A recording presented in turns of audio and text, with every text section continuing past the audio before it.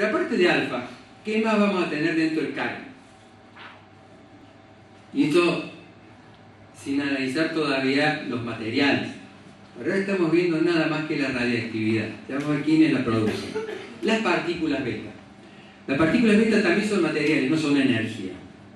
¿Qué son? Son electrones emitidos por los átomos. Son sobre todo porque se producen cambios, neutrón, protón, esto en el interior de los átomos. Pensemos en átomos, tenemos un núcleo y están los electrones orbitando alrededor.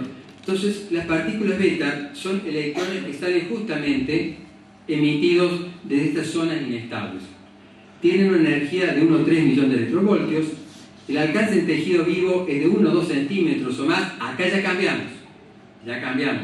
Ya la piel ya no lo detiene. Entra 2 centímetros. Eso ya empieza a ser un problema.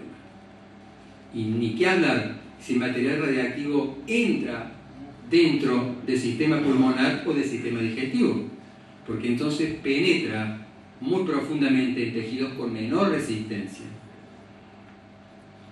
Y tiene, entre los ejemplos de emisores, el torio 234, plomo 214, bismuto 210. Este es el otro material que constituye la radiación.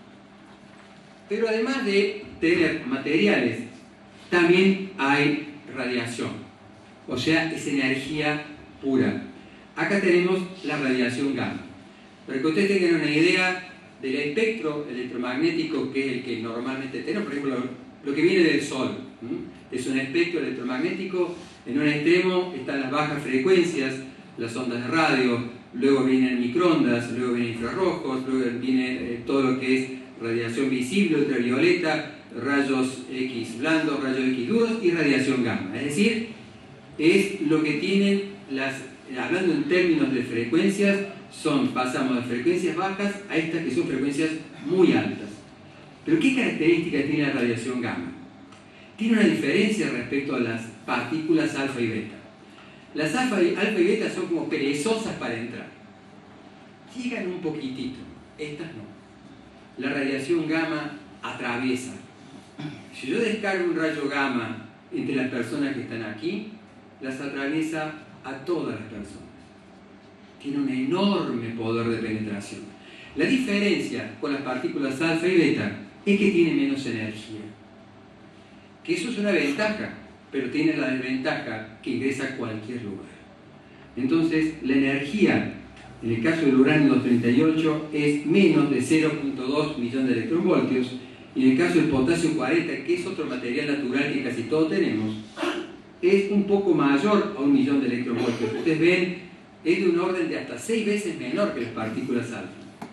Puede atravesar completamente organismos de gran biomasa, láminas delgadas de metal, cemento e incluso masas de agua.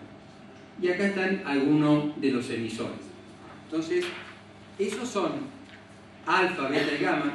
Esto es emisiones exóticas esto es lo que produce, son partículas mucho más grandes que produce el uranio, pero la vamos a pasar por alto para no ser complicados y ponernos con situaciones complejas, sino que dentro del CAREN, insisto, todavía no estamos hablando de los materiales que van a generar esto, va a haber todo el tiempo partículas alfa, partículas beta y radiación gamma. Por eso es que eso tiene que estar poderosamente blindado porque no podemos estar expuestos a esta, este flujo intensísimo que va a haber de partículas alfa, partículas beta, rayos gamma y neutrones. Porque también vamos a tener neutrones. Entonces hay que protegerlo.